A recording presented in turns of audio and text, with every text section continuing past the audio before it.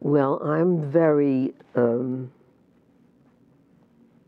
organized on the not religious aspects of it. So um, I would be more inclined to encourage people to hear the lusciousness, the generosity, the freedom, the good heartedness, the fun.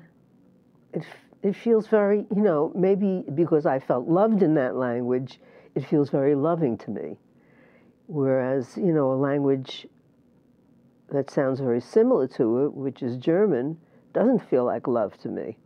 But um, so I would say that if you are studying this language, surround yourself with those vibes because that's going to help you to speak this tongue and know the wonderfulness of this tongue.